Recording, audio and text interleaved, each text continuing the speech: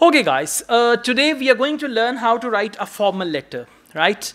Uh, by the way, academic candidates will have to take general training IELTS as well after four five years, inshallah. Say inshallah.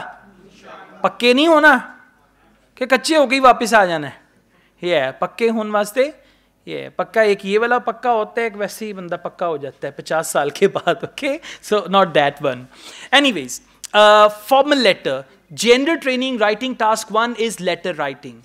Academic writing task 1 is report writing. And essay writing is same. There is no difference there okay? So we have three types of letters. One is formal second is semi formal and third is informal. The most important types are formal and informal. Sometimes they give semi formal but mainly formal and informal. Today we are going to learn how to write a formal letter. So whenever you write a formal letter beginning is dear sir or madam and then there should be comma. Book mein comma nahi hai comma laga dear sir or madam then there is comma. No greeting necessary. Greeting is what? I hope you are all right or this letter finds you well and all that. You don't need to write any greeting. Okay? Next no contractions. What are contractions? Don't doesn't shouldn't isn't. So don't use any contractions Next, normally avoid direct questions. Don't ask any questions. In formal letter, don't ask any question. No exclamation mark. Hote na exclamation sign, hooray, like that. Linking words you can use, however, uh, the words that we used in essay writing, you can use those linking words also. And then we have phrases and vocabulary with regard to whatever it is, and then there is ending. Okay, now after this, and by the way, you will have to go through at least five to six formal letters before coming for your mock test. Now please come to page number 19. Page number 19.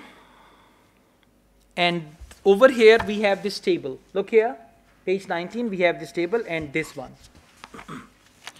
if you don't know the name of the addressee, addressee means recipient. Recipient means receiver of your letter. If you don't know the name, and how don't you, uh, I mean, why don't you know the name? If you're writing a letter to the manager of a company and you've never been to that company. Now, for example, I bought this product and I'm writing a letter to the manager, complaint letter. I don't know who the manager is. I don't know even the name and gender of the manager. So in that case, I will start dear sir or madam comma. It's a good idea to start formal letter with dear sir or madam comma right? And ending is going to be yours faithfully. And comma is missing, please write comma there. Yours faithfully. Clear? Okay. Now, we'll go through one formal letter so that you guys are very clear about it.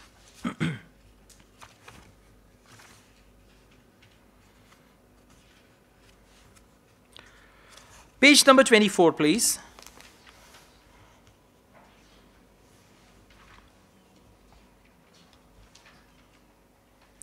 Page number 24.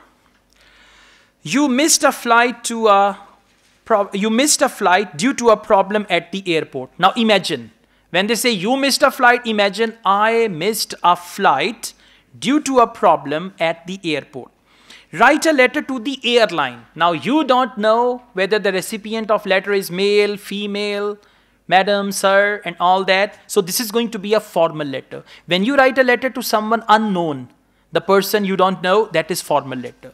In your letter, describe what happened that caused you to miss the flight. This is basically the problem. So you will write the problem. Next, explain how missing your flight affected you. So this is effect. First problem and then effect of that problem. And finally, make it clear what you would like the airline to do. Jurmana kya dalna unko. Okay? That is what we call request. So in your letter, there are three parts, problem, effect, and request. So for these, you can write three separate paragraphs. One paragraph for problem, one paragraph for effect, and one for request. And you should be clear, problem kya batana hai, effect kya batana hai, request kya karni hai. Okay? Now please come down. Problem. I was given the wrong boarding card. Yeah? You wanted to go to Karachi and you reached Islamabad. Yeah? Wrong boarding card. Problem. Effect. I missed two days of my holidays right? Imagine you are traveling to New York and they give you the wrong boarding card of London. So effect is I missed two days of my holidays. Request, I would like compensation. Compensation, hotel के पैसे दें, taxi के पैसे दें, जो मेरा इतना नुकसान हुआ उसका हरजाना दें that's what they call compensation for the flight and other expenses okay now we write the letter and remember there are five parts of letter I'll tell you about all five parts. Number one, dear sir or madam, this is first part. और इसके बाद एक line छोड़नी है. After part one, you have to leave the line. Next, uh, I am writing with regard. This is what we call statement of purpose. Statement of purpose means why are you writing the letter? Statement of purpose letter लिखने का मकसद क्या है? It's it's often one sentence I am writing with regard to a flight that I missed due to a mistake by one of your employees very simple इसके बाद फिर एक line छोड़नी है। ठीक है, ये लाइन छोड़ने वाला काम जो है ना, इसको छोड़ना नहीं है। It's important now next we are going to talk about what happened two weeks ago I was due to catch a flight to Rome where I intended to spend four days on holidays. Unfortunately, the attendant at the check-in desk gave me a boarding card for a different flight and I did not notice the mistake until I arrived at the departure gate and it was too late. All clear? Yes, so now you mentioned here, describe what happened that caused you to miss the flight. So this is first point. Now we are left with explain how missing your flight affected you and make it clear what you would like the airline to do. Next, as a result of the error, I was not allowed to board the flight to Rome and this caused me great inconvenience. I had to book a new flight two days after, which meant that I missed two days of my holiday and I had to spend an extra $350. Currency in your essay, in your letter, you should write international currency. Dollar is fine, you can write dollars. Now, request, last point, request. As the mistake was caused by your company, I hope that you will compensate me for the cost of the additional flight as well as for my taxi fares to and from the airport. Now what is that? That is request. इसके बाद फिर एक line छोड़नी. Come to next page. Yours faithfully. When the letter is formal, left side पे आप लिखेंगे yours faithfully, then there will be comma, and then again leave your line. Now, when you're writing formal letter, you will write your full name. For example, my name is Asad Yaqub. If I'm writing formal letter, at the end I will write Asad Yaqub. Okay, because this is my official name. And on the other hand, if the letter is informal, then I will write Asad.